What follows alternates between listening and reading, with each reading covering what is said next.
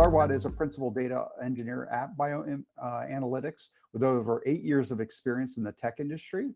She has worked with various types of data in different industries, including healthcare, biomedical, retail, and digital media services. Get ready to learn from a seasoned expert with a passion for creative problem-solving.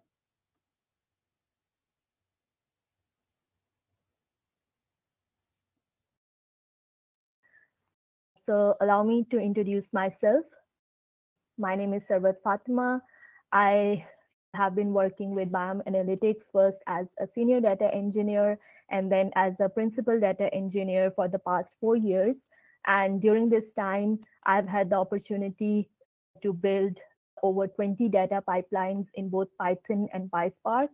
And each of these data pipelines had hundreds of lines of code with over eight plus years of experience in working with diverse data sets from healthcare to neuroimaging, bio, biomedical, and finance data sets. I am passionate about data and the insights that it brings.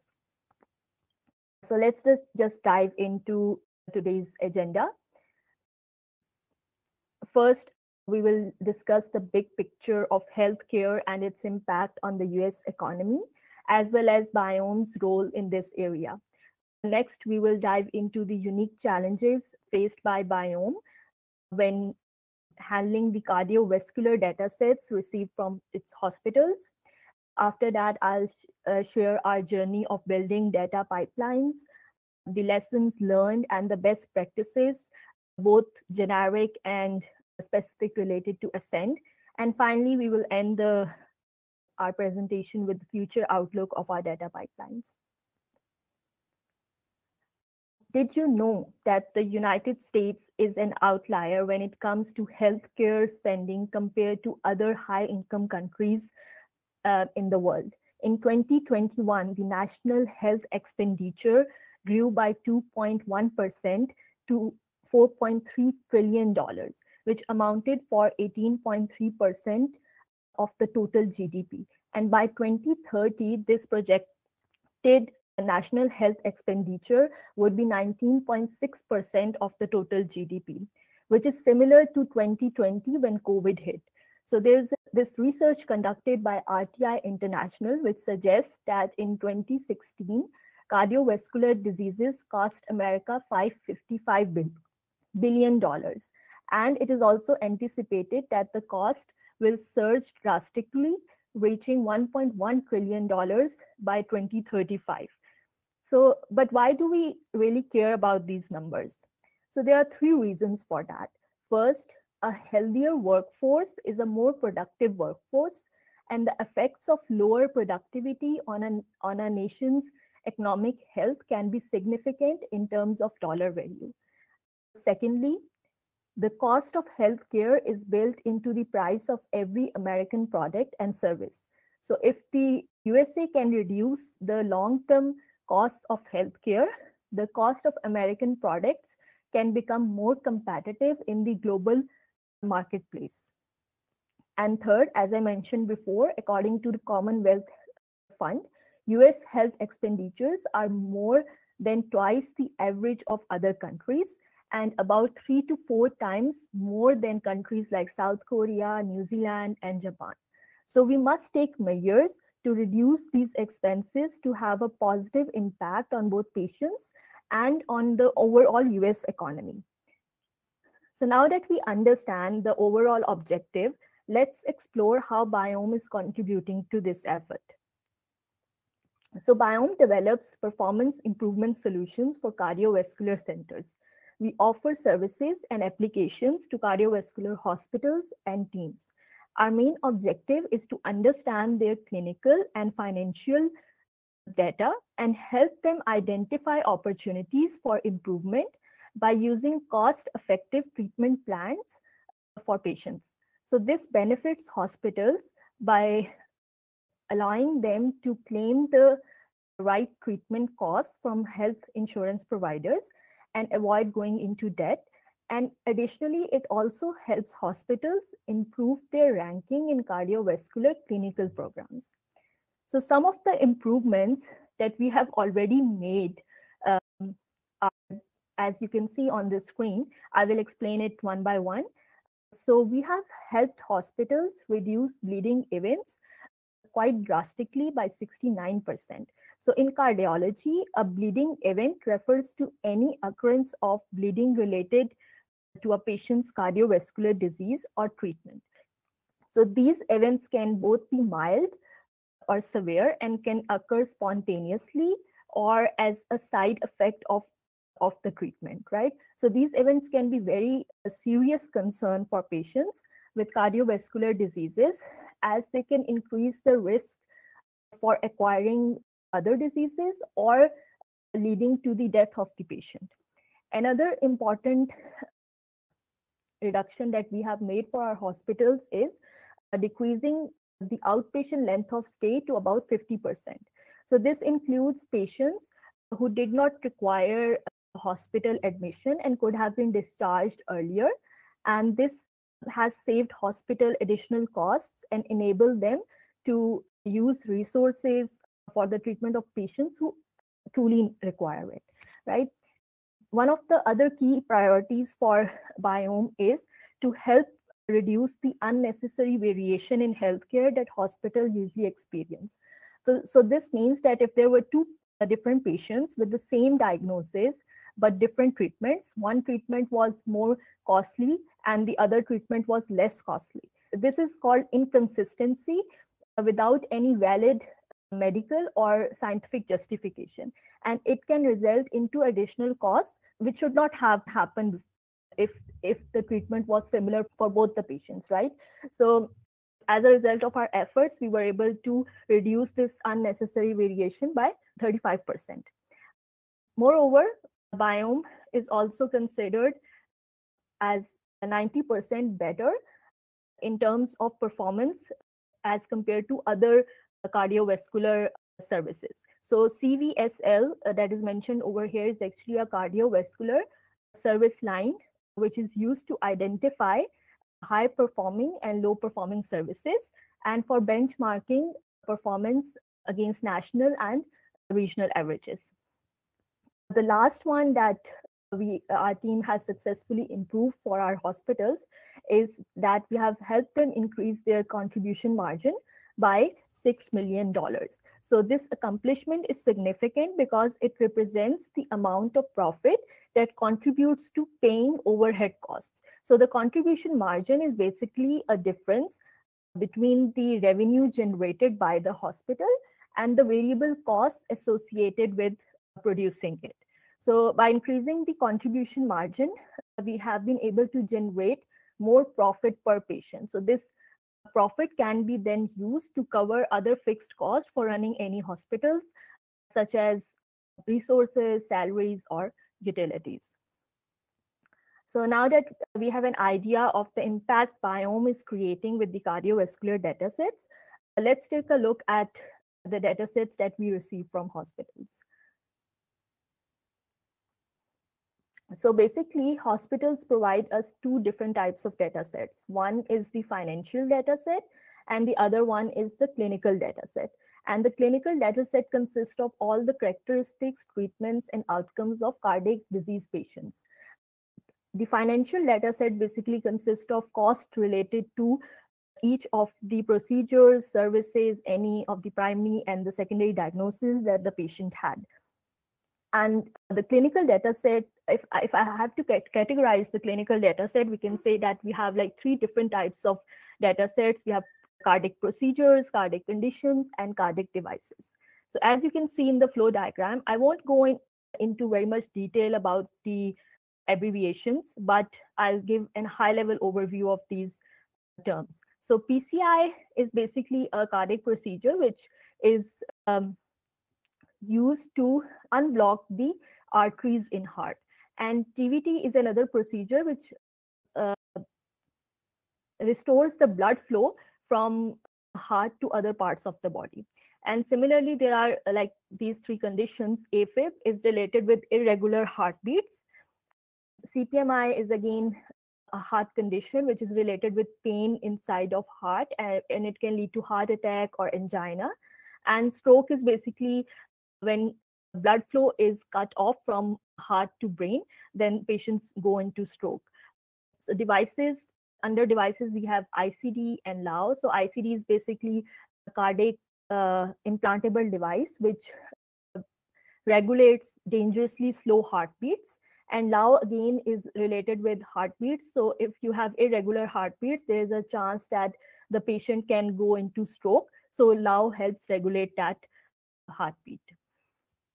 If we further drill down in our data set, there are different types of informations that are information that are available with each of these financial and clinical data sets. So they can be categorized as you know demographics, which includes patients' age, gender, medical history, health risks, and we have procedures, diagnosis, um, and all the all the different drugs or any results between during before or after any procedure right? Also we also have cost related information with all of these items services or implants and then we have some devices related information as well specifically related to the, its utilization their different types and characteristics right?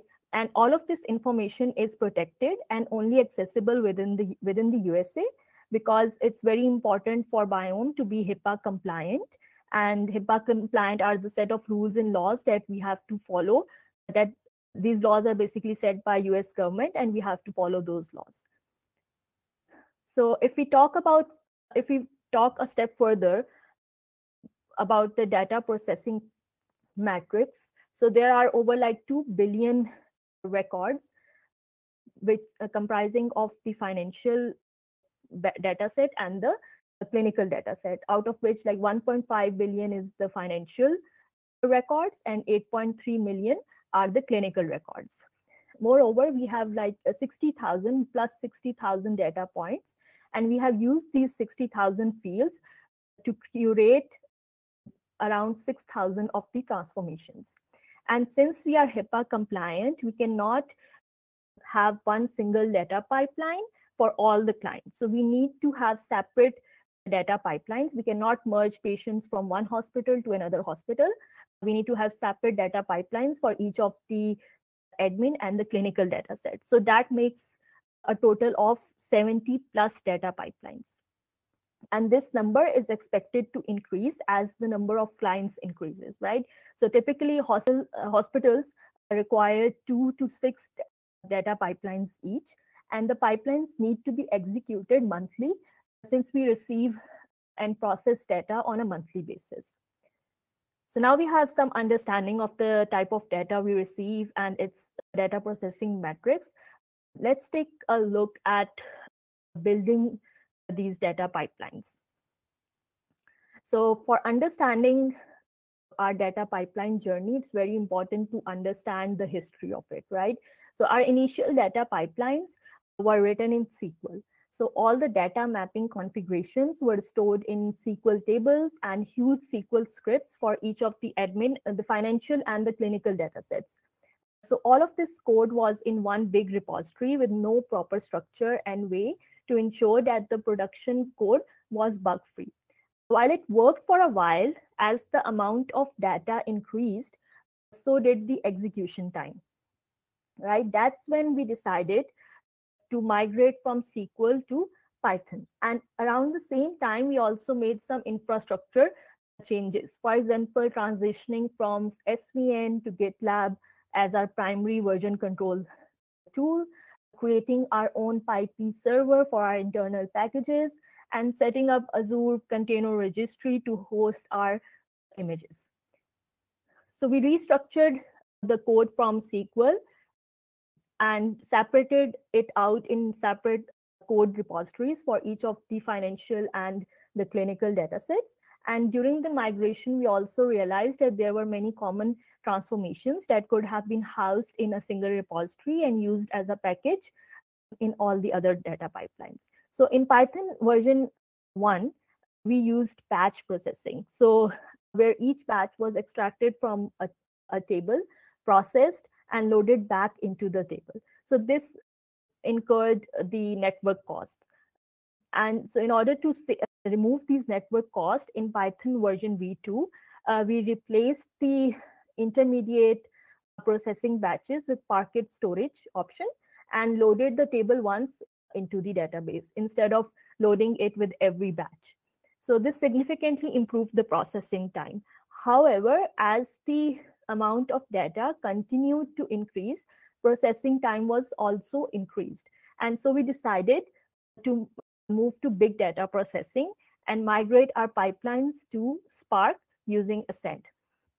So this allowed us to focus more on business logic instead of orchestration, metrics, and scheduling. So Ascend was already providing that to us. But previously, we had tried another very popular open source solution for orchestration and metrics and scheduling.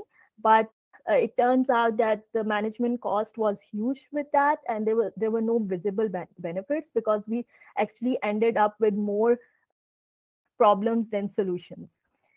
So, so this is like a, a brief overview of our data pipelines journey. So today we will discuss the last portion of this pipeline journey of how we are using Ascend to automate our data pipelines.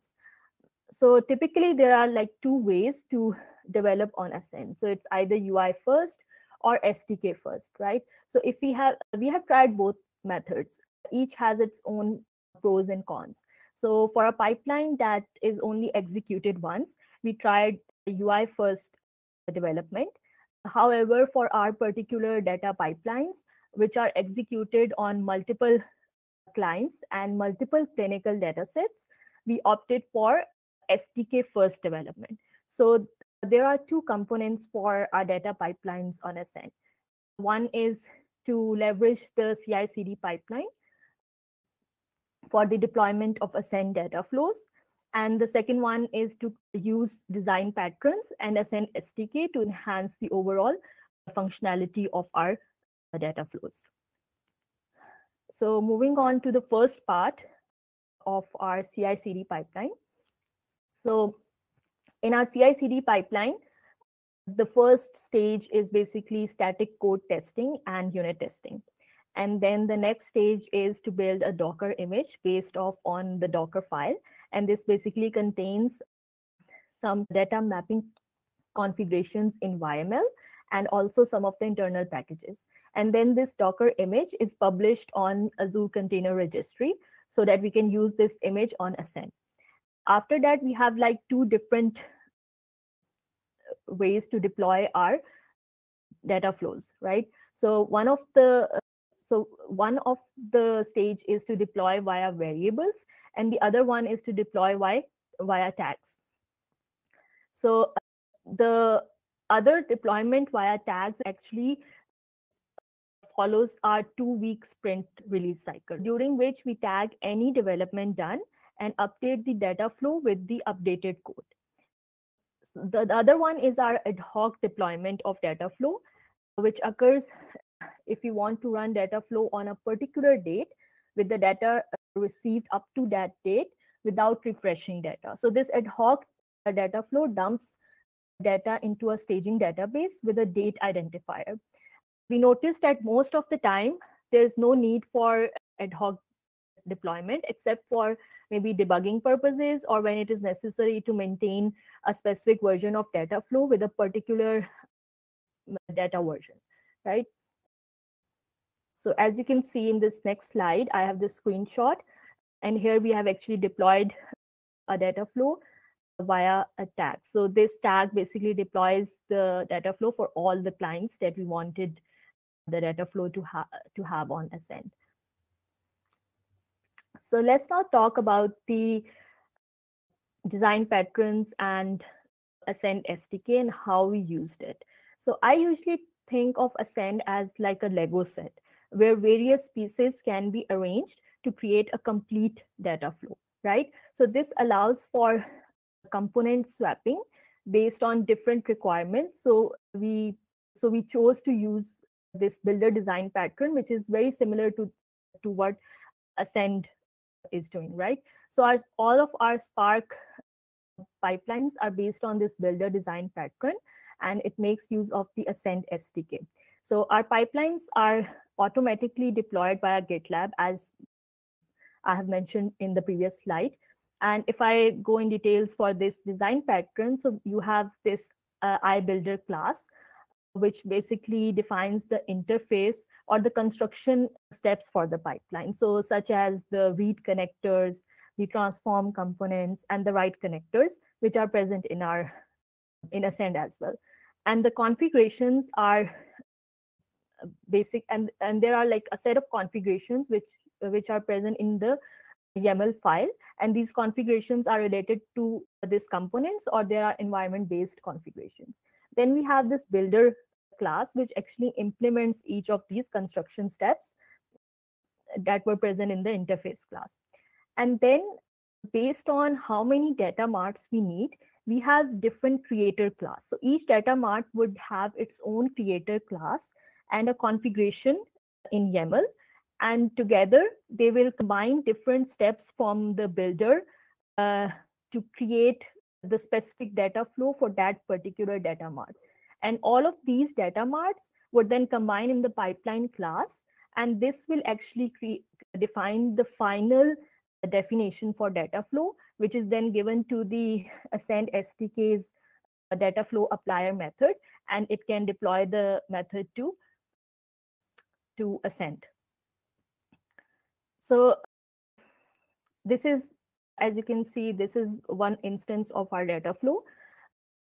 We can have, we have some data flows which are even more complicated than this data flow, but you can see how different things are connected and all of this is deployed using Ascend SDK and CI/CD pipeline. So why did we choose this design? We already had common code between uh, data pipelines. And since we have multiple data pipelines, it made sense to separate the Ascend SDK code and use it as a common code instead of repeating the downloaded code from the UI in each repository, right? So if Ascend decides to significantly update their Ascend SDK code, we can simply go and update a single code repository instead of updating at multiple places since we had to migrate um, several data pipelines from Python to PySpark, it made sense to focus more on the business logic and PySpark rather than also dealing with the Ascend SDK code. So it, it also improved the overall engineering productivity. And Ascend SDK has some additional features that are very useful for automating our data flows, such as like we can dynamically create connections and remove any previous data flows if required, right? So it made the overall experience for automatically deploying the data flow quite easier with the CI/CD pipeline. So I hope you understand till now the data set, the data pipeline building process. So let's now discuss some of the general best practices that we have adopted and learned ourselves during this whole journey. So the first thing is that it's very important to have a very clear understanding of your migration purpose. So whatever business requirements you have, you need to first translate into uh, technical requirements and then go from there. So for example, for us, one of our business requirements was to expand our client base, right? And this translated into our technical requirements as speed and modularity. And we have used Ascend and uh, Spark to improve our speed. And we have used design patterns to bring in modularity into our data pipelines. Again, design patterns are really important. You should try to utilize them. There are many tools available out there which can help you orchestrate data pipelines. But actually, the real value lies in combining all these software engineering skills with these tools to build an effective and efficient data pipeline. Another thing is to create generic CI/CD pipelines. This is very important because if you want to enforce a certain habit among your engineers or anyone who is creating code repositories, it's very important to have these pipelines set up. So for example, for us, it was very important to have each code repository have unit tests, right? So it was already a stage in our CI/CD pipeline. So when we standardized that CI/CD pipeline template, everyone who created a code repository, they had to build unit tests with the code so that the pipeline passes and they could merge the code to the master branch, right? So again, unit testing is really important and it's non-negotiable. You should try to have test cases for each of your transformations so that you can make sure that the business logic is expected, is working as expected, and there's there, there are no errors or bugs in that code. Also, unit tests really help as an important documentation tool as well, because it provides a very clear and concise overview of the functionality of the clinical definition. So usually in data companies, multiple teams usually work together and the data you use often comes from another team, right? So therefore it is very crucial to analyze the data types and the sparsity of the data sets and implement any necessary changes either on the upstream systems or within your own code. So additionally, you must ensure that your code output can be easily consumed by downstream systems as well without causing them any issues. So let's discuss some of the best practices that we had noticed or learned while working with Ascend. So always choose one path for development. It's either UI development or SDK development. If you would combine these two, you may end up uh, having some kind of weird weird errors. So for example, there was like one production data flow. We created some data fields manually, but then when, when we tried to deploy through SDK, it gave an error to us because SDK, the code didn't had that those uh, definitions for data fields, right? So it's very important to use one type of development.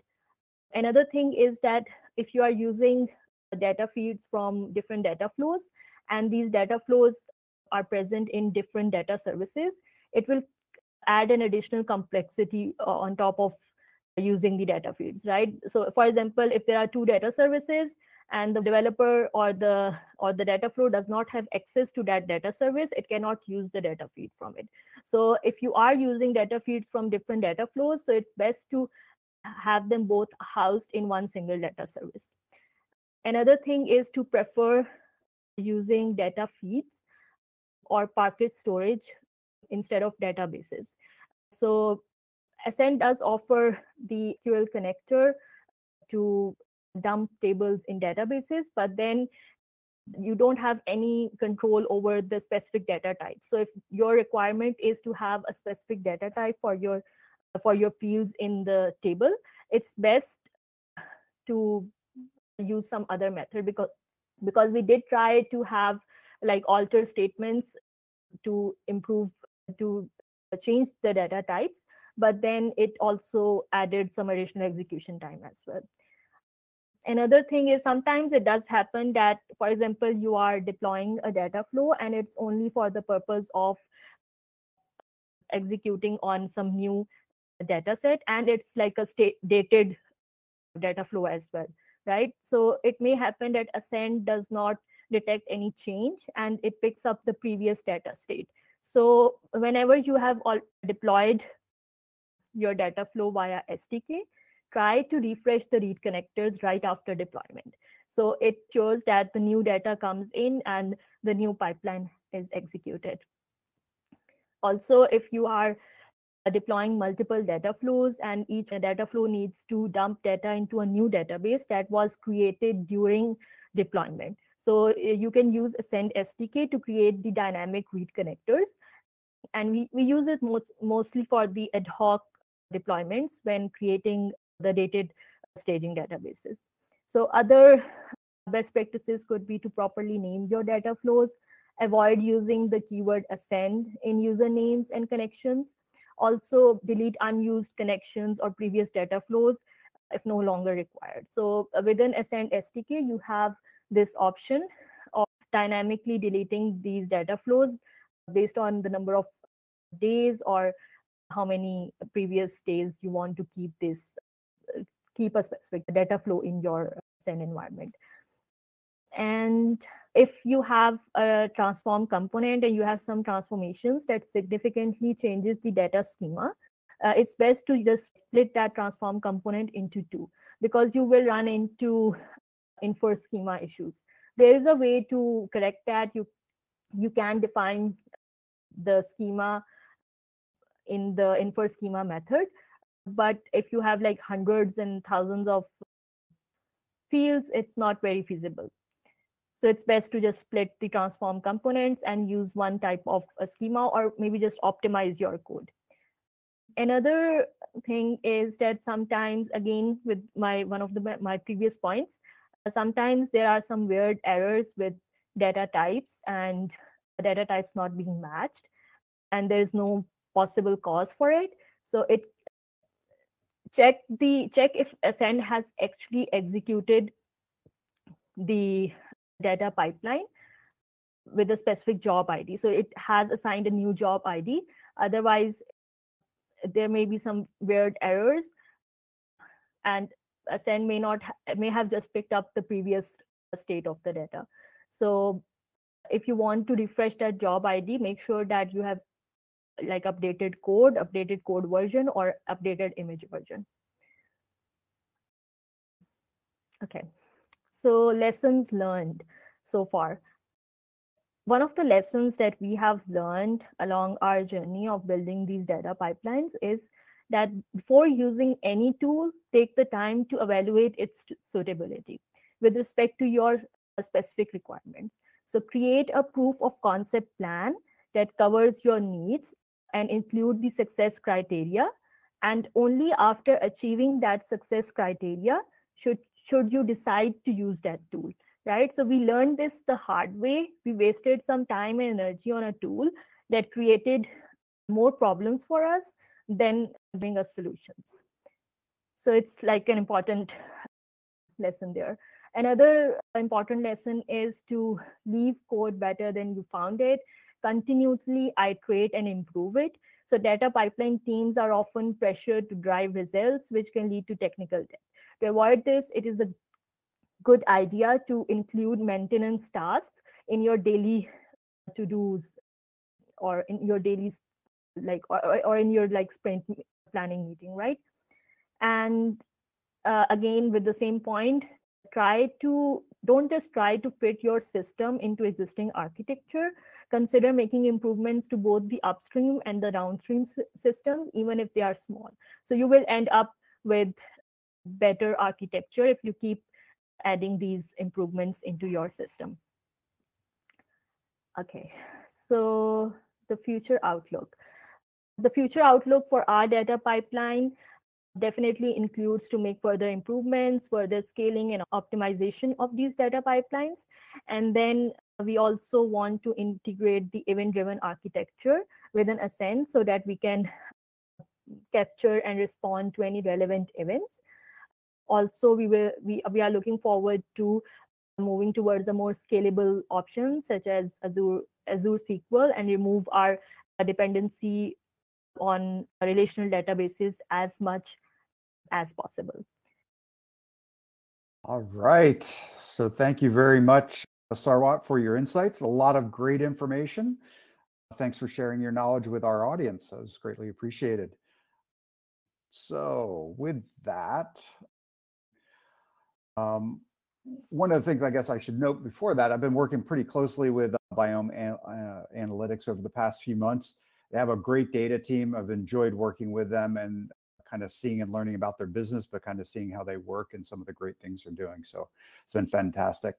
Biome Analytics is headquartered in San Francisco, California, and you can learn more about them eh, on their website at biome.io. That's B I O M E.io. And you can check out some more information there.